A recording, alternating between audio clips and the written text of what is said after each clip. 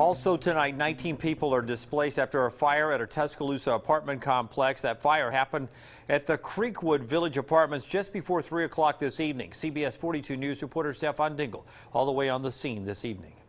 The great news here is that no one was hurt or sent to the hospital, but of those 19 people, 13 of them were children, divided among four families. If you take a look at photos shot by Tuscaloosa Fire and Rescue, you see how much smoke filled the area from this fire that consumed one apartment building at the complex.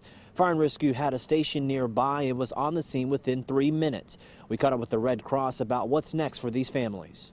So we were to have help, able to help them early this evening um, and we also fed them just shortly a while ago, the ones that were still on site. So we um, gave them assistance to make sure they had a place to stay tonight and assistance to have food and um, provide them some clothing to get, the, get them through the next few days. Authorities say in that one building it contained four units that suffered heavy damage from water and smoke. The cause of this fire is under investigation. In Tuscaloosa, Stefan Dingle, CBS 42 News, local coverage count on.